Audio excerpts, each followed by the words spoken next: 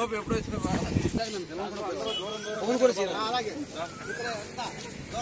జోహార్ సర్దార్ గౌతు లచ్చన గారు జోహార్ సర్దార్ గౌతు లచ్చన గారు జోహార్ సర్దార్ గౌతు అమర్ రహే సర్దార్ గౌతు లచ్చన గారు అమర్ రహే సర్దార్ గౌతు లచ్చన గారు అమర్ రహే సర్దార్ గౌతు లచ్చన గారు అమర్ రహే సర్దార్ గౌతు లచ్చన గారు జోహార్ సర్దార్ గౌతు జోహార్ సర్దార్ గౌతు లచ్చన గారు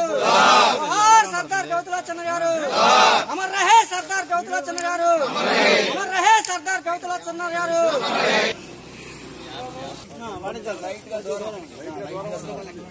సర్దార్ గౌతు లచ్చన్ గారు జోహార్. జోహార్ సర్దార్ గౌతు లచ్చన్ గారు.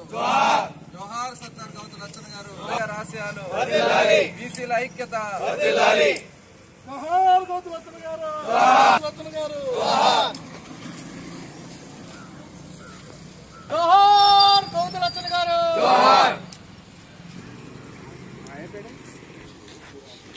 బడుగు బలహీన వర్గాలకి కావలసినటువంటి అనేక ఏర్పాట్లు చేసినటువంటి మహనీయుడు గౌతు లచ్చన్న గారు.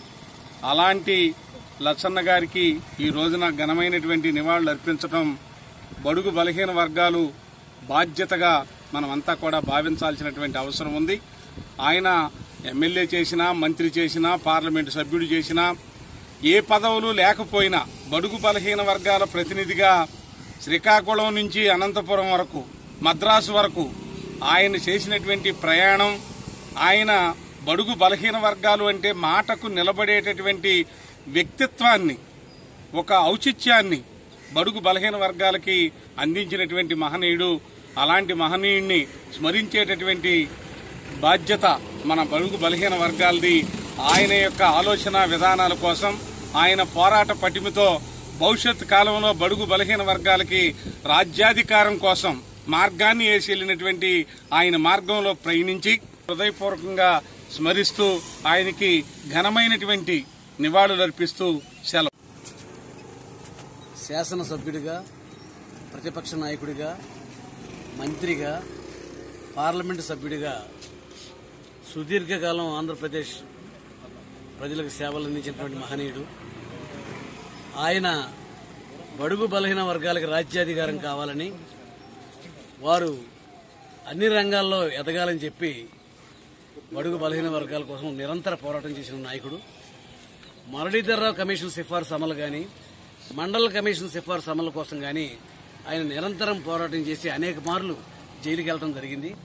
ఆయన పోరాట ఫలితంగానే ఇవాళ మండల కమిషన్ సిఫార్సులు అమలు అవటం వల్లే ఇవాళ స్థానిక సంస్థల రిజర్వేషన్లు గౌతు లచ్చన్న గారి పోరాట ఫలితమే. అటువంటి మహనీయుడు అడుగుజాడల్లో నడవలసిన అవసరం ఉంది. ఇవాళ బడుగు బలహీన వర్గాలకి రాజ్యాధికారం దిశగా ప్రయాణం ప్రయాణం చేస్తున్నారంటే అది గౌతు లచ్చన్న గారి యొక్క ప్రోత్సాహమే.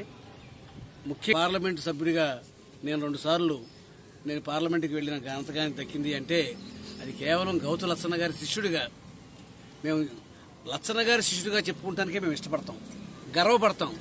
మచ్చలేని మహనీయుడు అటువంటి నాయకుని యొక్క అడుగుజాడల్లో అందరూ నడిచి బీసీల రాజ్యాధికారం కోసం బీలంతా కూడా బీసీలంతా కూడా ఒక తాటి మీదకి వచ్చి పోరాడి ఎలాగైనా రాజ్యాధికారం సాధించాలనేదే గౌతులచ్చన్ గారి కోరిక.